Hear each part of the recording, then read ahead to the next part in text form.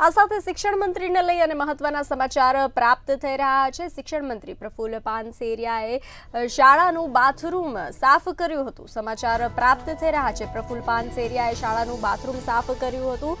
શિક્ષણ મંત્રીને લઈ મહત્વના સમાચાર પ્રાપ્ત થઈ રહ્યા છે. આચાર્ય શિક્ષકોએ મંત્રીના કામથી પ્રેરણા લીધી હતી.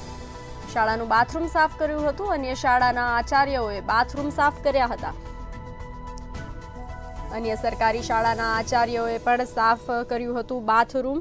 ત્યારે શિક્ષણ મંત્રી પ્રફુલ્લ પાનસેરિયાએ શાળાનું બાથરૂમ સાફ કર્યું હતું અને શિક્ષણ મંત્રી પાસેથી અન્ય અધિકારીઓએ પણ પ્રેરણા લીધી હતી. શિક્ષણ મંત્રીએ શાળાનું બાથરૂમ સાફ કર્યું હતું.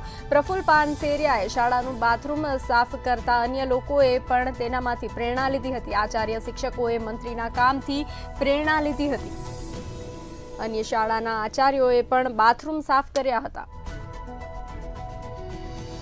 અન્ય સરકારી શાળાના આચાર્યોએ પણ બાથરૂમ સાફ કર્યા હતા.